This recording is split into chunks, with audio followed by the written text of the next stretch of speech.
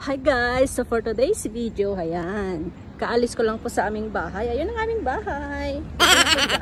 Ayan. So papunta lang ko ngayon sa bus stop.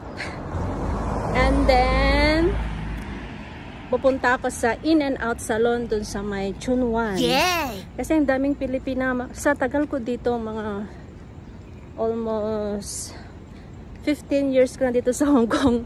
Ito na in and out salon, hindi ko pa napuntahan guys. Eh, mga Pilipin, ang daming pumupunta doon. Kaya subukan ko din siya kung maganda ba talaga. At saka, matagal na kasi hindi ako nagpa-treatment ng buhok. Nagmula nung nag-COVID. Ayan. So, syempre, ah kahit hindi tayo uwi ng Pilipinas, kailangan natin magpa-treatment ng buhok. O, di ba? Kasi guys, dito sa Hong Kong, mga kunyang dito sa Hong Kong, nagpapa, ano sila, nagpapa, ah hair straightening bago umuwi, o, di ba? So, kahit hindi ako uwi guys, syempre magpapang pamper, pamper, magpa-treatment tayo. Kailangan natin alaga ng ating sarili. Para Yeah! maging healthy lagi. O, diba?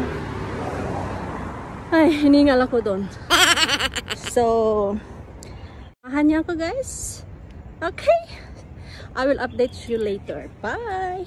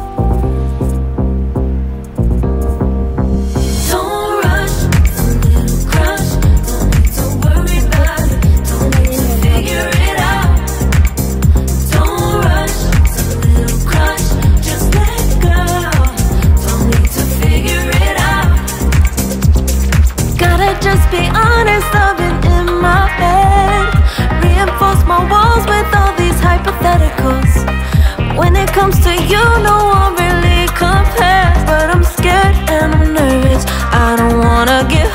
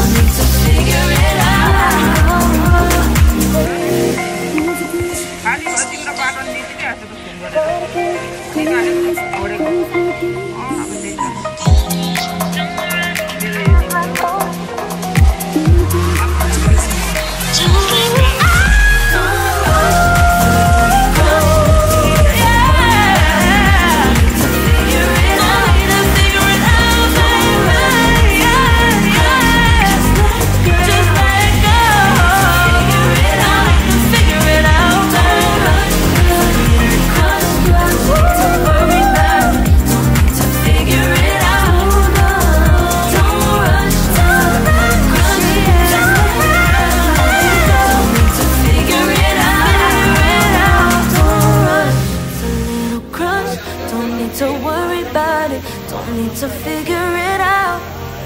Now don't rush, it's a little, it's a little crowd.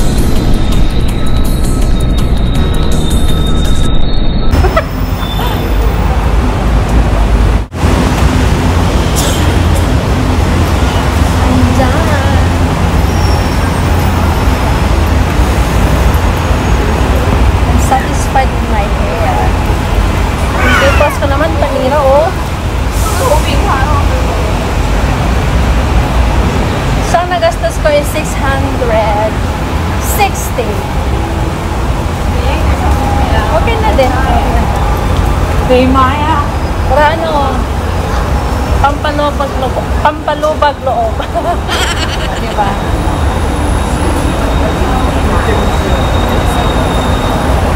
Punta kayo dun guys, maganda. Sa in and out dito sa may Chulwa. Thanks for watching.